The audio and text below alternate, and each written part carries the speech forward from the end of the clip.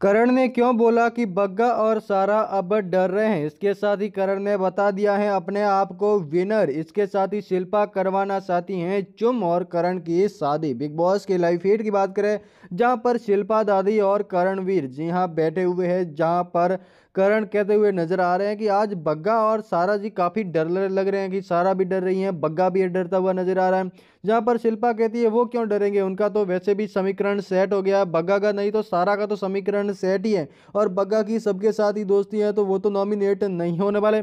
जहाँ पर करण कहते हैं, समीकरण तो यहाँ पर मेरे सेट कर लिए फराक खान ने। ऐसे तो भाई बात का तो लग रहा है कि ऐसा तो नहीं लग रहा आप सबको कि मैं ज़्यादा उछल रहा हूँ, हवा में उछल रहा हूँ। बाकी ट्रॉफी तो अपनी है, बाकी फरा ने मेरे साथ दिया तो काफ़ी ज़्यादा लोगों को जल रही अब। लेकिन अब मुझे पता चल गया है कि बाहर भी लोग मुझे विनर बोल रहे हैं। और मैं बिग बॉस एटी का विनर बन सकता हूँ। बन क्या? मुझे तो बनना ही है।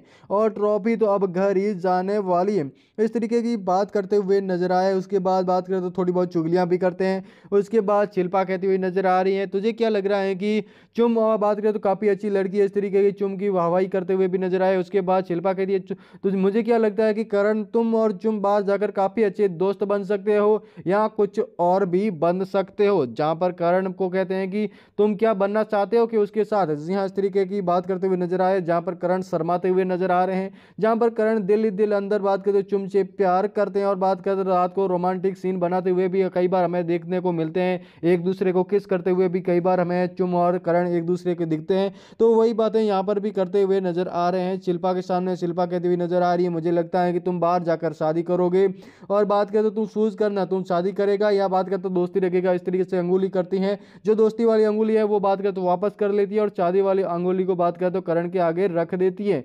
जहाँ पर इस तरीके की बातें होती हैं, उसके बीच दिग्विजय भी आ जाता है तो इनकी बातें खत्म हो जाती हैं। बाकी दोस्तों, आपको क्या लगता है कि बाहर अगर करण और चुम की शादी होने वाली है, या फिर इनका रोमांटिक सीन सिर्फ़ मस्ती में ही रह जाएगा? कमेंट करके ज़रूर बताएँ।